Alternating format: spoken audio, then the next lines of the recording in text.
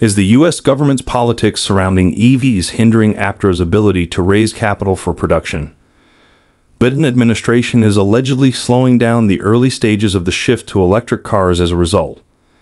People familiar with the scheme claim that the intended regulation change was an election year compromise made to auto bosses and labor groups.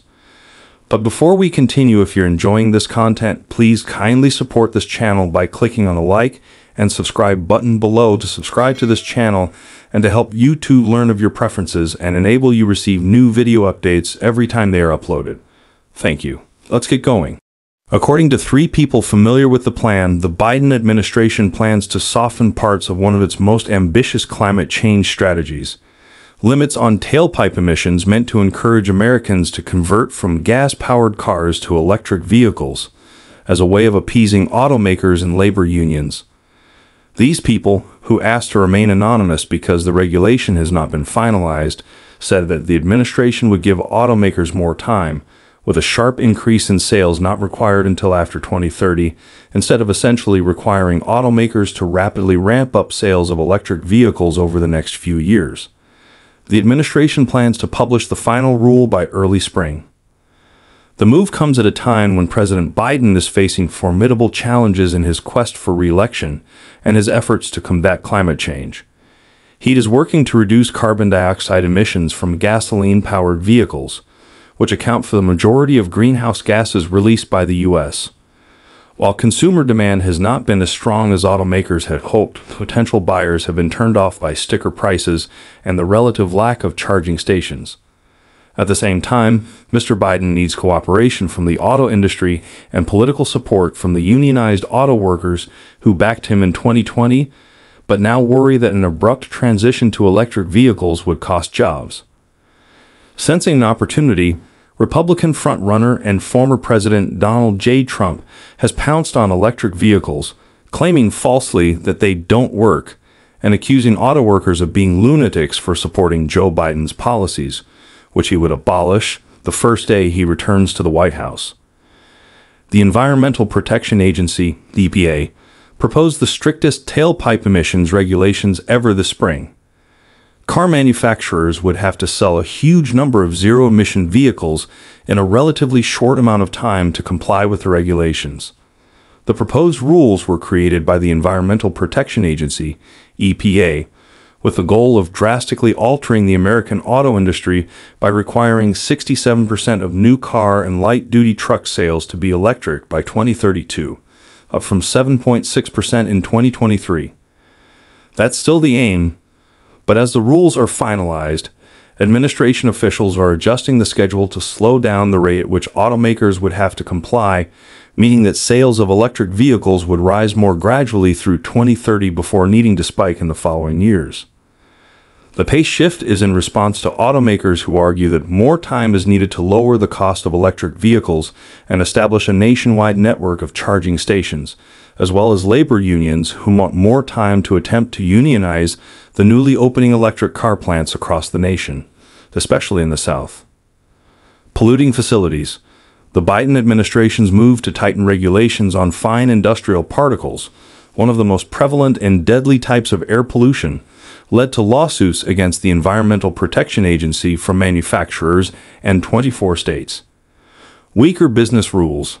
New rules governing whether and how public firms must report climate risks and the quantity of greenhouse gas emissions they generate were authorized by the Securities and Exchange Commission. Compared to the original plan, the new rules place less restrictions on businesses. Two narrower climate rules.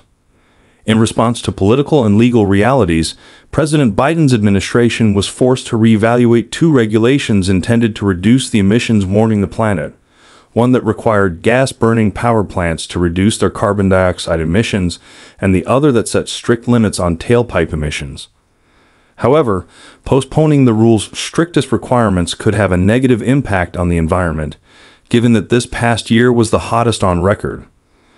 Scientists say every year counts in the government's efforts to prevent the planet from tipping into more deadly and expensive climate disasters. Delaying the sharp increase in sales of electric vehicles until after 2030 would still eliminate roughly the same amount of auto emissions as the original proposal by 2055, according to Environmental Protection Agency models. But it would mean the nation would continue to pump auto emissions into the atmosphere in the short run. If U.S. transport emissions don't decline before 2030, you'll have faster warming, stated James Glynn, a senior research scholar at Columbia University's Center on Global Energy Policy.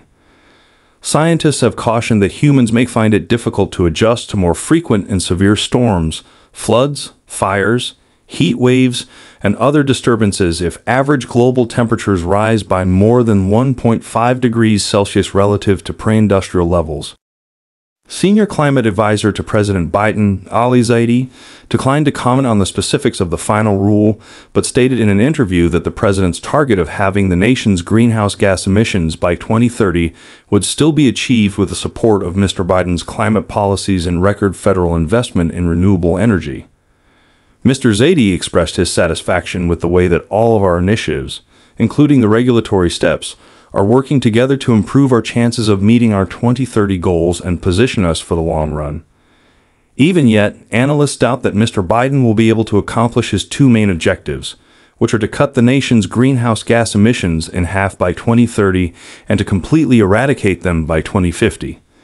Scientists believe that in order for any country to be spared the worst effects of climate change, all countries must attain this aim. Mr. Biden's political alliance and his image as a champion of the middle class have been greatly aided by labor support. This support was put in jeopardy last spring when the Environmental Protection Agency suggested new regulations on tailpipe emissions. Shortly after, United Auto Workers President Shawn Fain wrote that the union was not endorsing Mr. Biden's reelection campaign due to concerns with the electric vehicle transition. Given that they require fewer laborers to assemble and that many electric car plants are being developed in places with low union density, the union has been cautious about electric vehicles. The United Auto Workers urged the Biden administration to ease the compliance timeline so that it increases stringency more gradually and occurs over a greater period of time in public comments it filed regarding a proposed rule. Union leaders repeated that request in discussions over the past six months with senior White House officials, including Mr. Zaidi. Biden administration officials stated the union's comments had resonated. In an effort to allay union concerns during the fall strike against Ford, General Motors, and Stellantis, Mr. Biden became the first president to join the workers on the picket line. The walkout was sparked in part by worries over the industry's shift to electric vehicles. A few weeks later, the United Vehicle Workers endorsed Mr. Biden, and by early January, the Environmental Protection Agency had submitted the White House a revised version of its vehicle emissions rule with a lengthier time frame. He bought into Biden's vision of all electric vehicles, which require far fewer workers to make each car, but more importantly, are not wanted in large numbers by the consumer, and will all be made in China, Mr. Trump wrote on Truth Social, his social media platform, following the endorsement. Mr. Trump also called Mr. Fain a dope. Professor of Public Policy at the University of Michigan Barry Rabe observed that Mr. Trump has emphasized the fear of electric cars that is prevalent in that auto producing state, one of the few swing states where the election will probably be determined. When Trump visits the state, this is a real question that he raises what plant am I going to be working in? Mr. Rabe stated, Trump has been very effective in the past at using wedge issues. Despite the fact that the number of electric vehicles sold in the U.S. reached a record 1.2 million last year, growth in this market is slowing down, even if the new laws call for a roughly tenfold increase in sales of these vehicles in only eight years. Although federal tax credits of up to $7,500 are available to purchasers of new electric vehicles, the number of eligible models has decreased from roughly two dozen last year to just 18.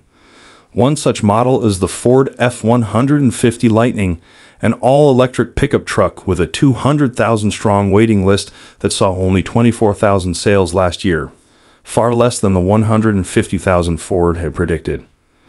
Even if the number of EV chargers being built is increasing, from over 87,000 in 2019 to over 172,000 last year, Analysts predict that by 2030, the country would require more than 2 million chargers to accommodate the rise in electric vehicles that the proposed regulations hope to achieve. Car companies would face billions of dollars in fines annually if the emissions associated with their auto sales exceed the limits set by the new regulations. This worries auto companies, which, according to the Center for Automotive Research, a nonprofit organization in Ann Arbor, Michigan, have invested about $146 billion over the past three years in researching and developing electric vehicles.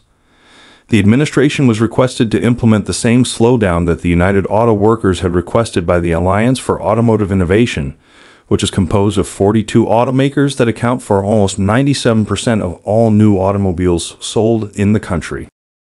Time is critical, Alliance President John Bozzella stated in an interview.